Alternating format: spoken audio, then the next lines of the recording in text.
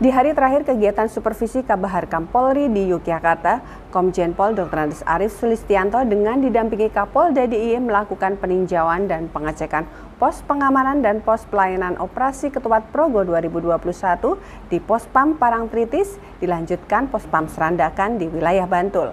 Selain itu juga dilakukan pengecekan di pos PPKM Mikro Trirenggo Bantul. Dalam keterangannya, Kabaharkam menyampaikan bahwa Yogyakarta merupakan daerah tujuan wisata sehingga PPKM Mikro harus diperkuat.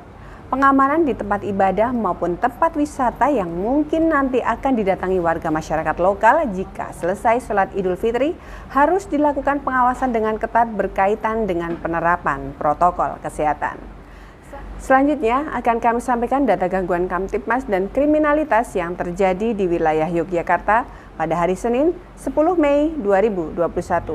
Selama satu kali 24 jam telah terjadi empat kejadian, yakni satu kasus pencabulan, satu kasus miras, satu kasus pencurian, dan satu kasus penggelapan. Demikian Polda Jogja News, kami menghimbau agar masyarakat tidak melakukan mudik lebaran guna mencegah penularan COVID-19. Sayangi diri dan keluarga Anda.